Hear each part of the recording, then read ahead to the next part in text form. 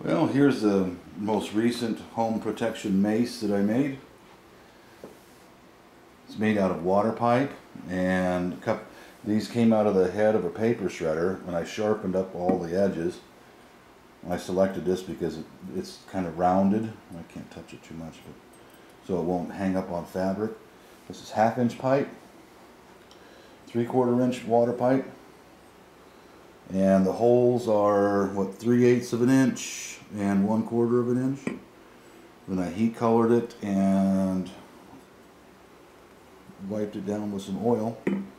I made it nice and short and compact so that I could use it even like on the stairwell or in the upstairs hallway or wherever, a bathroom, whatever it might take. But it's nice and short, easy to use, nice and lightweight, and very sharp. So let me know what you think of the design.